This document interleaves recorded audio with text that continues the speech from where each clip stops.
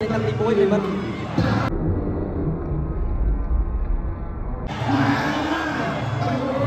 អាយោចូលត្រឡប់មួយបាទហើយ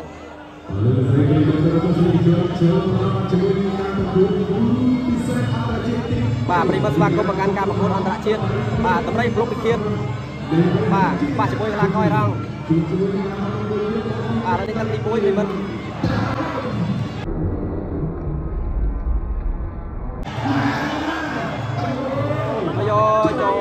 មួយបាទហើយនេះនេះនេះនេះអ្នកឲ្យតែគាត់ខ្វែងដៃប្រិមត្តថាអូរាប់រាប់រាប់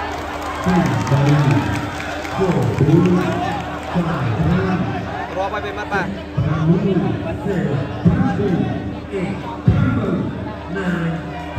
បាទចុងការប្រកួតហើយគាត់មិនអាចបន្តការប្រកួតបានទេអុយចូលធ្ងន់ប្រិមត្តបាទ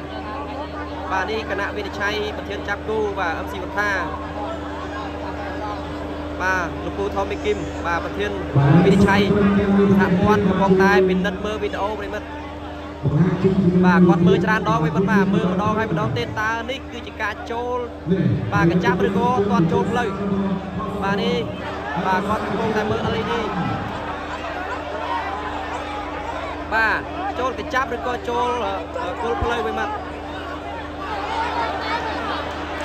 បាទបា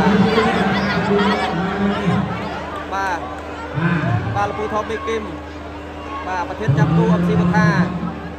គណៈវិនិច្ឆ័យសហព័ន្ធកំពុងតែពិនិត្យវីដេអូបាទហើយកីឡាកររងនេះគឺចុកមិនទាន់បានទេប្រិមិត្ត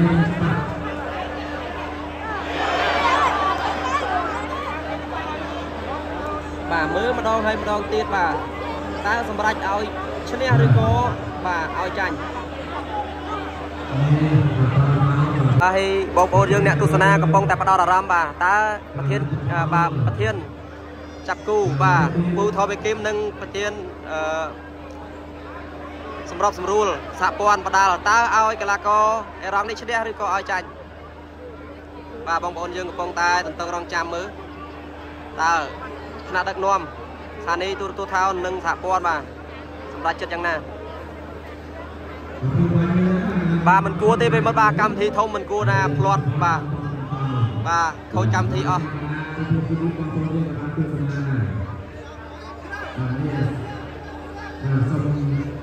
ផ្លាត់កាត់ការប្រកួតដោយផ្សាយទៅលើ